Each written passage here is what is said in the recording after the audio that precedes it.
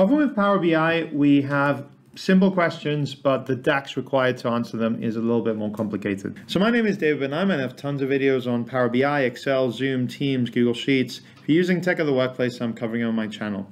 And I am going to copy and paste the final formula in the description, so have a look at that. And if you want to download the file, then I have on my website where you can download the files associated with my videos. So here I have certain people, Noah, Emma, Liam, etc., who work in my organization and they have a start date and an end date. And I want to know at any given point in time how many people were there in my organization.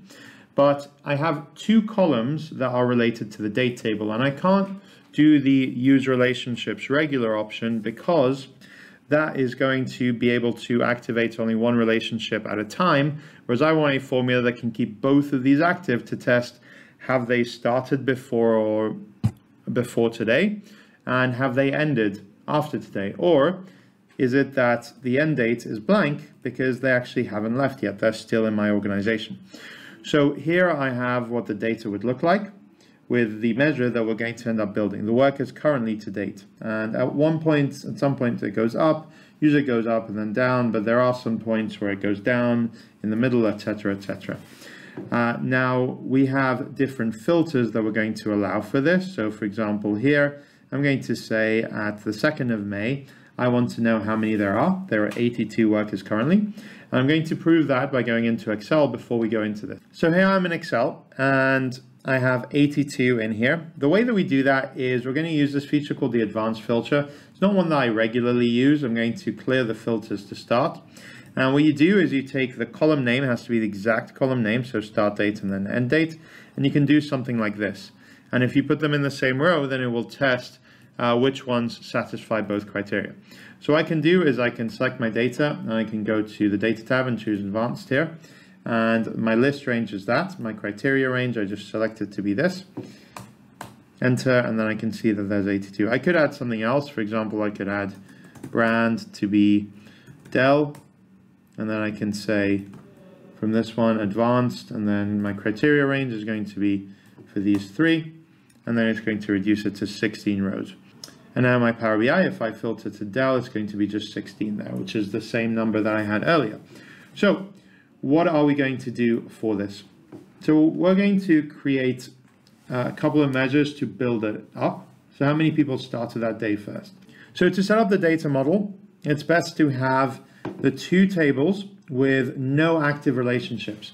If you have an active relationship, then all of this is going to break. So if I make this active, then I go back here, all of these are showing me one. So that's not what we want. We want either no relationship or inactive relationships. Uh, in this case, we're going to have one inactive relationship because we still want to know how many people started that day that we want to activate. So I'm going to go to a new measure. So let's start with one measure and we'll get more and more complicated as we go along. So here we go. I'm going to make it big so you can see it there. I'm going to say employees equals count rows of main data, close my brackets. I'm going to number this one, I'm going to say number one so that they're all sorted next to each other. So if I add that to my canvas and make that into a table, I can see that there's 194 and that is just the number of people that there were. It doesn't matter if I filter for different dates, it doesn't, it doesn't do any difference because there is no active relationship between the date table and the number of employees. So I'm going to go with something that is going to be like employees who started that day. So I'm going to go to new measure. I'm going to say started that day, maybe two, equals calculate of count rows main data. I'm going to say uh, do this, but activate the relationship using use relationship of main data and start date, date table and date.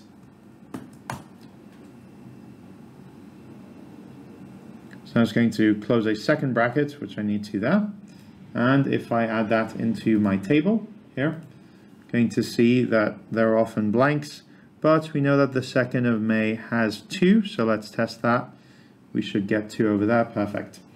And what is this is doing is it's going through the use relationship thing, which needs two active columns. If you make a mistake and you do the wrong column, for example, it just will give you an error. So it's a pretty easy to use one. I use this whenever I have inactive relationships. So go back to date and there it works fine. So let's start with number three. Number three is going to be how many people started that day or before that day. So three started on or before date equals calculate. And now this is going to get more complicated. I'm going to start with, again, count rows of main data, close my brackets, and then I'm going to do the filter. And for the filter expression, we need the filter function because the filter function is required if you are comparing a column with a calculation, which is what we're going to need to do. And then we need to say for filter, what is the table expression? What is the table and then the filter expression? The table is actually going to be, in this case, values of main data start date. The values function takes one single input, which is usually just the column name, and returns a unique values of that column.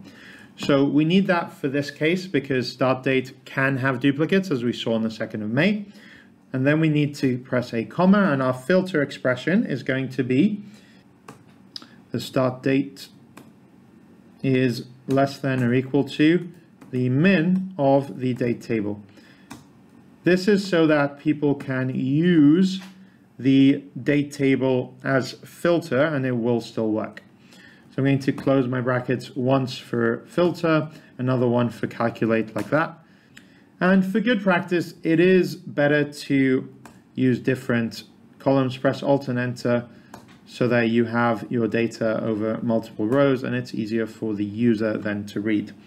So um, I usually would do it a little bit more spaced out, but because I'm very zoomed in, this is how we're going to do it now. So you have the calculate, which is applying filters, changing the filter parameters, count rows of the main data, where you are comparing the start date is less than or equal to the earliest chosen date here. And this is going to give me, if I click out and I add it to my table, I can see 91. And if I go back here, I can filter for start date is before. And I do on or before, and then I'm going to do 03 May 2022. Okay and I get 91 filtered rows. Perfect. So that is giving me the right answer. Next, I'm going to do the same for the end date. So I'm actually just going to be able to copy this and going to go to a new measure. I'm going to say for after or on end date left equals and then I can paste that. So I'm going to say count rows of that where filter values, but instead of start date here, I'm going to say end date. And then here I'm going to say end date again as well.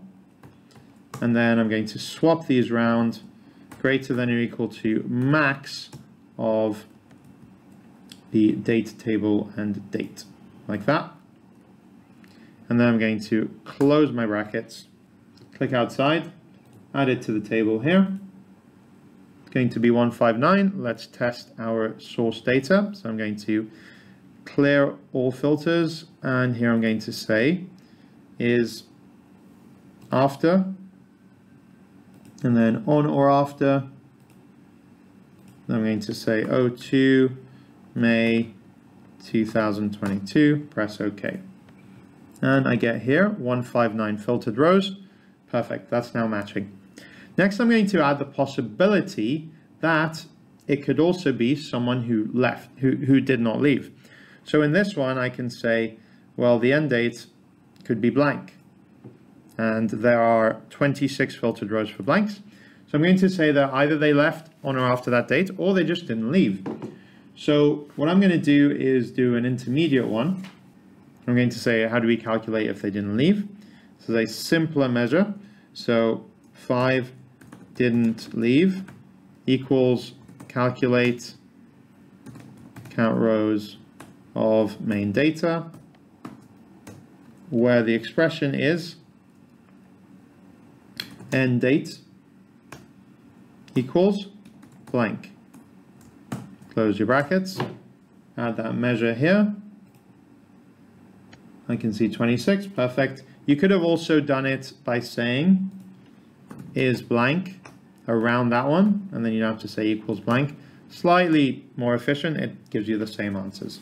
Now we're going to do a combination of 4 and 5. So new measure, going to say 6 didn't leave or after equals calculate.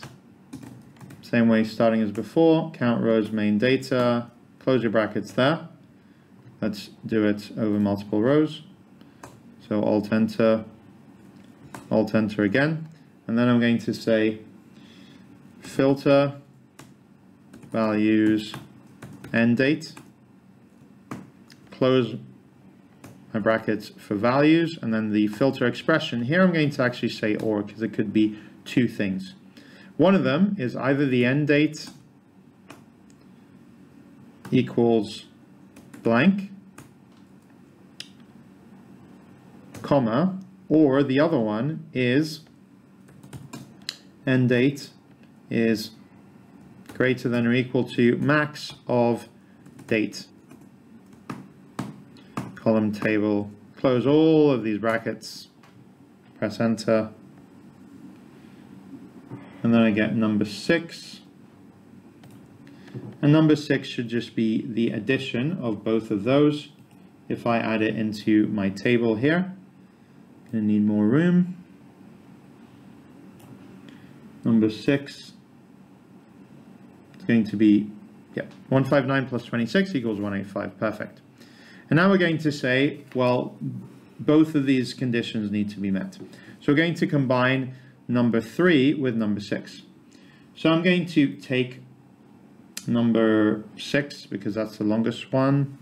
I'm going to copy that, control C. I'm going to do a new measure. Then number seven is going to be workers currently equals, I'm going to paste that. But before we do this, I'm going to say filter values start date where start date is less than or equal to min of date table.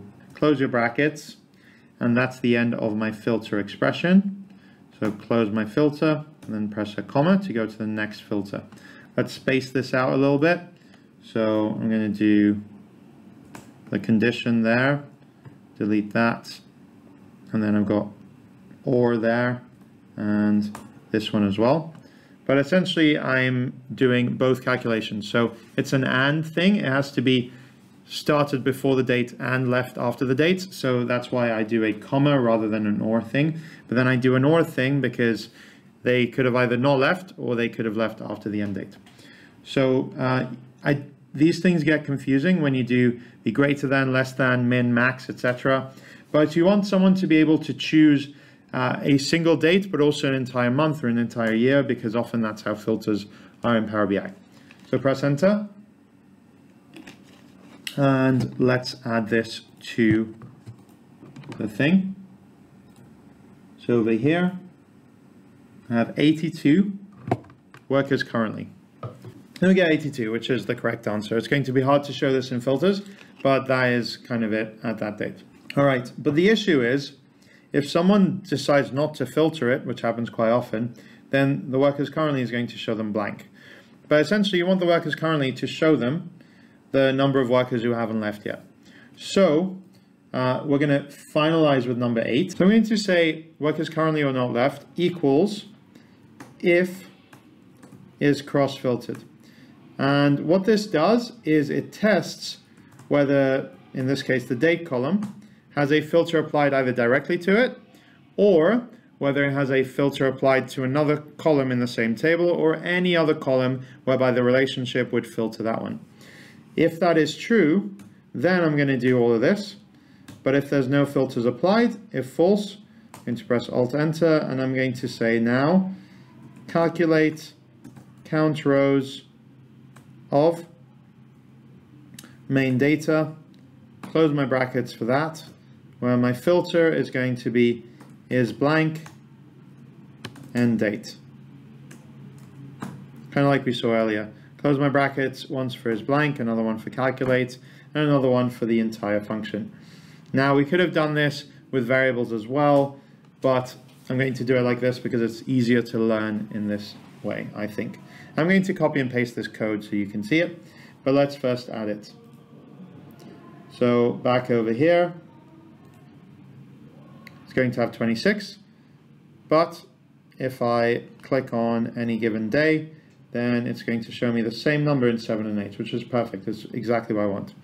So I hope you found that useful. My name is David Benaim. I have tons of videos on Excel, PowerPoint, Google Sheets, Power BI, Zoom, Teams. If you're using Tech of the Workplace, I'm covering on my channel. And I'm talking about a lot of these kind of DAX scenarios in a few videos that I'm releasing at the moment. Thanks for watching.